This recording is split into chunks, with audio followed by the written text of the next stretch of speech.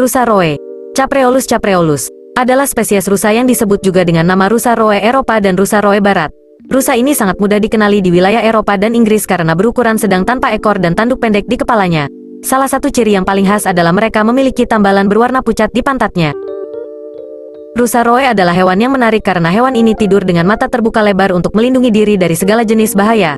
Anda mungkin melihat mata mereka tertutup tetapi hampir tidak selama lima menit jika tidak, mata mereka selalu terbuka. Alasannya mungkin karena makhluk ini adalah mangsa hewan yang lebih besar dan itulah sebabnya mereka tidak mempercayai siapa pun. Jika rusa roe mencium atau melihat manusia, mereka cenderung berpindah wilayah dan tidak kembali kecuali mereka merasa bebas dari ancaman manusia. Jika tidak, telur rusa atau spesies rusa lainnya biasanya berakar di satu area.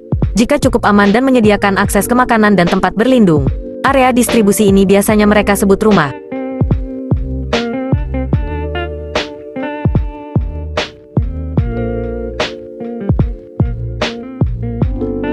Rusa roe barat, Capreolus capreolus, adalah spesies rusa kecil asli Skotlandia dan Inggris. Rusa roe barat termasuk dalam kelas mamalia.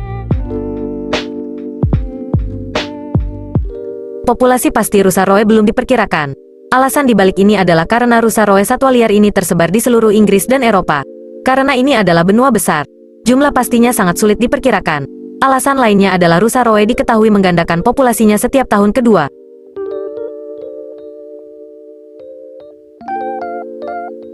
Rusa roe barat dapat ditemukan di daerah hutan di seluruh wilayah Eropa khususnya di Skandinavia, Skotlandia, Irlandia, dan Islandia. Selain di kawasan hutan, mereka juga ditemukan di hutan merah Chernobyl.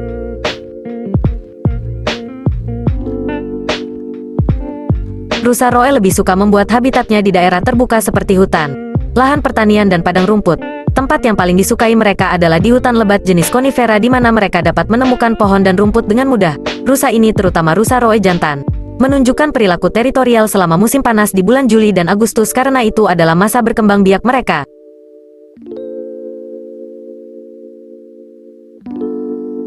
Umur sebenarnya dari rusa roe adalah 20 tahun, padahal rata-rata umurnya sekitar 8-10 tahun. Biasanya rusa roe jantan hidup lebih lama dari betina.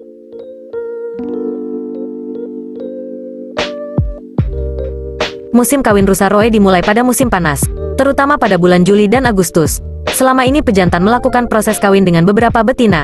Setelah masa kawin selesai, dan implantasi telur selesai, rusa betina akan melahirkan anaknya pada tahun berikutnya sekitar bulan Juni.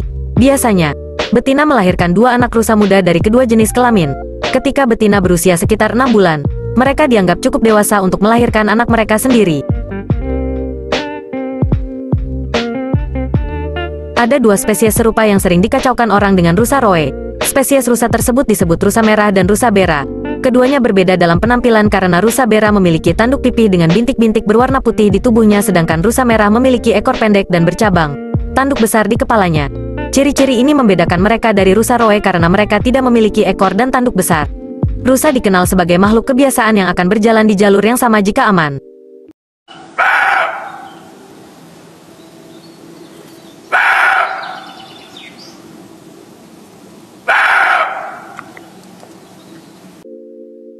Itulah beberapa fakta menarik rusa roe, dan mereka terdaftar sebagai list concern oleh IUCN.